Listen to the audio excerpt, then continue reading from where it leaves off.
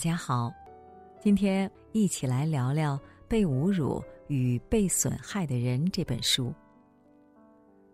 一八四六年，陀思妥耶夫斯基刚一出版人生中的第一本小说，便广受好评，甚至被文学评论家别林斯基称为俄罗斯文学的天才。一八四九年，他因公开朗读革命信件而被捕。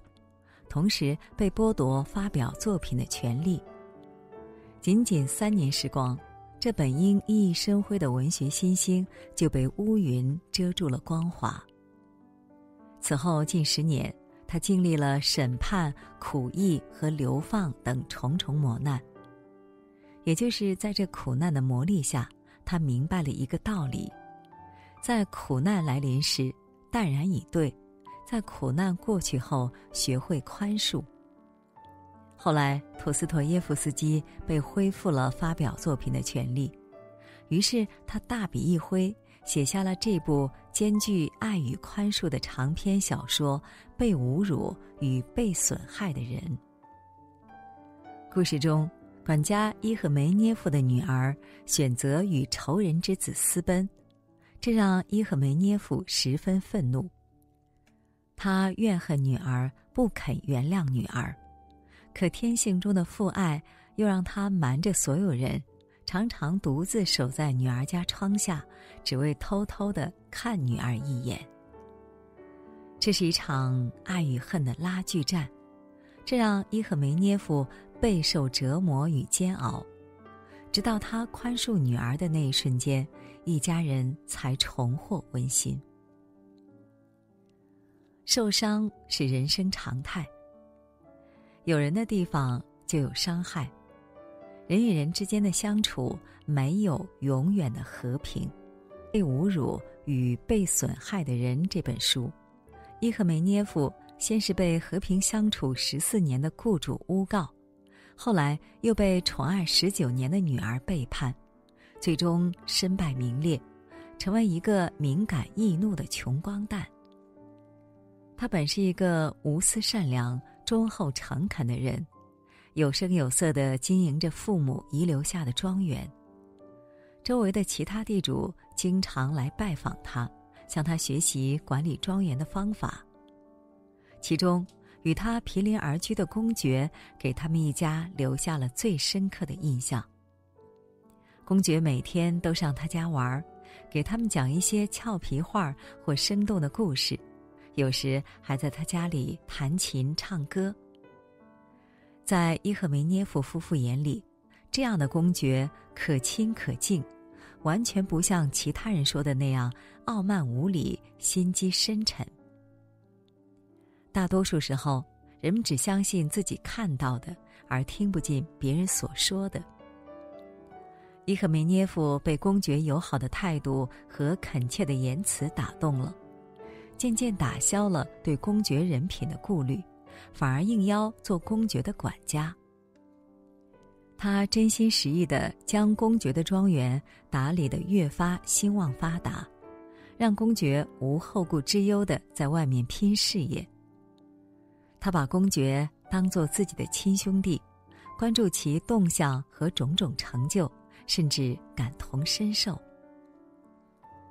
正如唐朝诗人张卫在《赠乔林》里写道：“丈夫会应有知己，世上悠悠安足论。”这个世界上的人那么多，我们渴求的就是能有一个互相认同、互相支持的知己。伊赫梅涅夫和公爵便是这样的知己，他们互相信赖、友好相处了十四年，没有发生任何的不愉快。后来，伊赫梅涅夫应公爵之邀，将公爵之子迎入家里，像对待亲儿子一样照顾。这让公爵的儿子有些乐不思蜀了。即便后来公爵回到庄园，他也不愿意回去和父亲团聚。与此同时，庄园附近滋生起不少流言蜚语，谣传伊赫梅涅夫利用女儿魅惑公爵之子。从中获利，中饱私囊。正所谓“三人成虎”，公爵渐渐相信了所谓的证人证言，最终狠下心来将伊赫梅涅夫告上了法庭。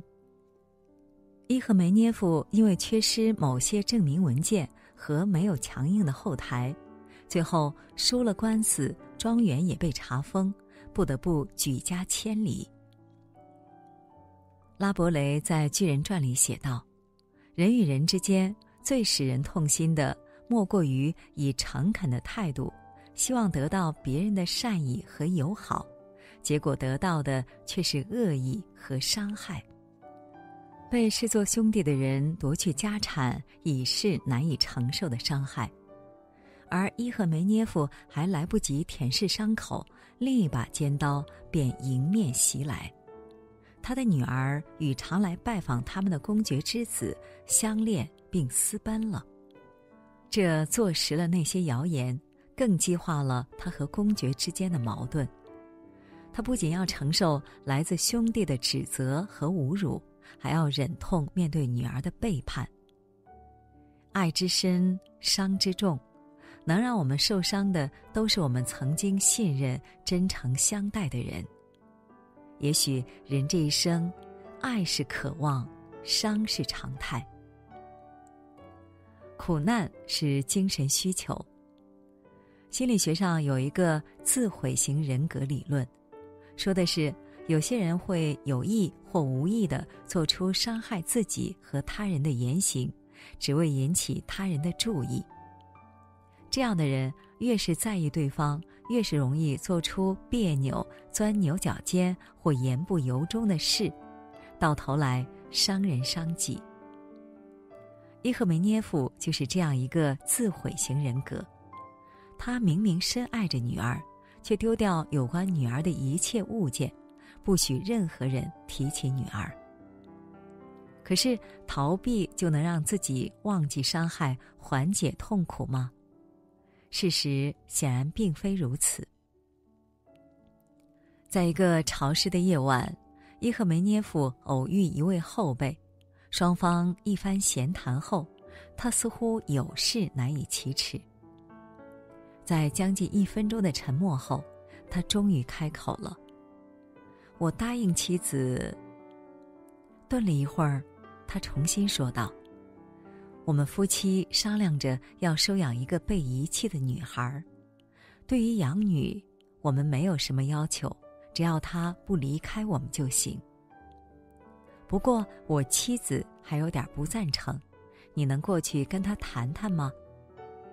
但不要说是我让你去的，要说这是你自己的想法。”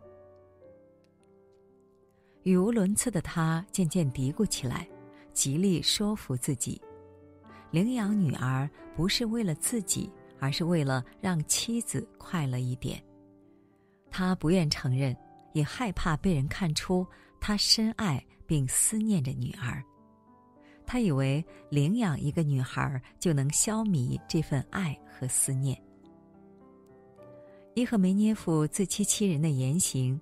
在妻子眼里，不过是装模作样和硬充好汉。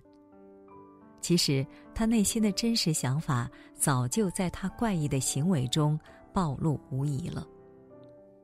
与人相聚时，他会突然旁若无人的自言自语或指手画脚；夜幕降临时，他会一声不响的拖着病体走进阴冷的街道，伫立在女儿家窗下。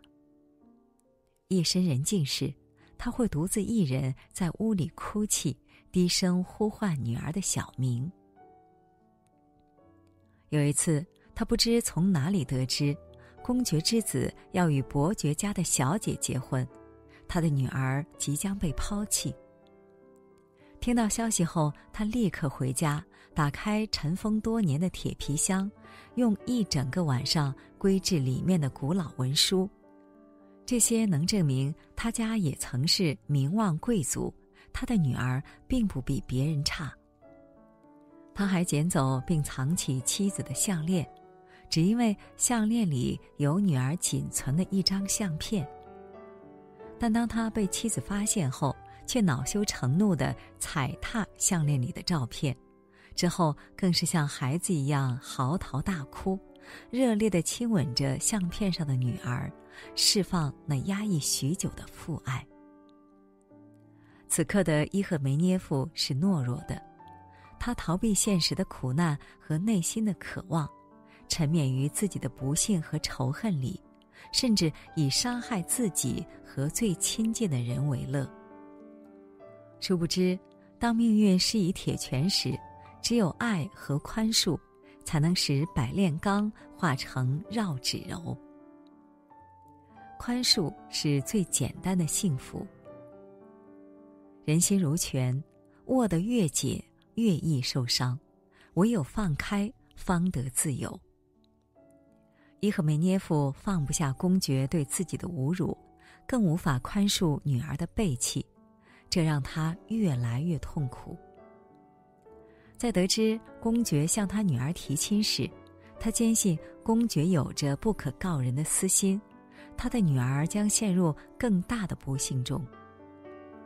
他想要阻止这桩婚事，便向公爵发出决斗的信函，可公爵却将信函交给了警察，他也因此被抓进了警局。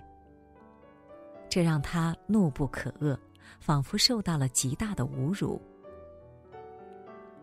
他始终无法参透，活在仇恨里，失去的是将来的自由；学会宽恕，解开的是过去的束缚。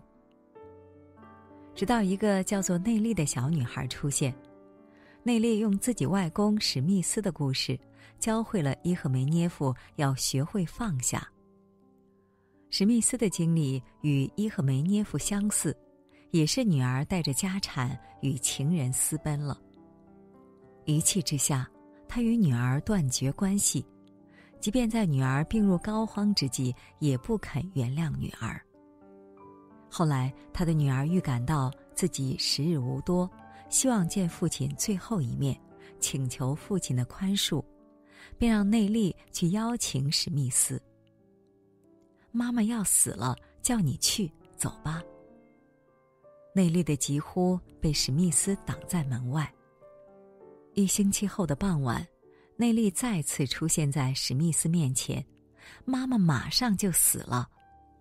史密斯这才手忙脚乱起来，上气不接下气的奔向他的女儿。可惜，等待他的不再是他深爱的女儿，而是一具冰冷的尸体。史密斯执拗的愤怒不仅害死了自己的女儿，也让自己在孤独中长眠。莎士比亚的《威尼斯商人》里有一句话：“宽容就像天上的细雨，滋润着大地。”它赐福于宽容的人。也赐福于被宽容的人。史密斯的故事惊醒了伊赫梅涅夫，他哆哆嗦嗦地撑起病体，哀嚎着：“我的女儿在哪里？她在哪里？她在哪里？”恰在此时，他那被情人抛弃的女儿突然落魄地闯进家门，跪倒在伊赫梅涅夫的面前。伊赫梅涅夫将女儿紧紧的搂在怀里，父女俩终于都选择了原谅对方。伊赫梅涅夫不再执着于过去的苦难，他决定找一份工作，带着妻子和女儿去新的地方开始新的生活。铁，愈炼愈硬；爱，愈熬愈浓。经过苦难的熬制，人们愈能品味出爱的甘甜。在不幸中能悟出真理，是被侮辱与被损害的人这本书的基调。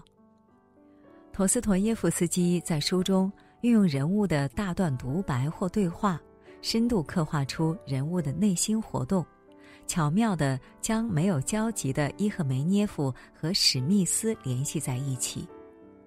他们有着相似的悲惨命运，却因为不同的选择有了不一样的结局。人生实苦，苦于不幸时常不请自来，令人猝不及防。有人深陷其中，沉沦于苦海；有人宽容待之，徜徉于爱海。山之美在其雄奇险峻，河之美在其波澜壮阔，人之美在其坚韧善良。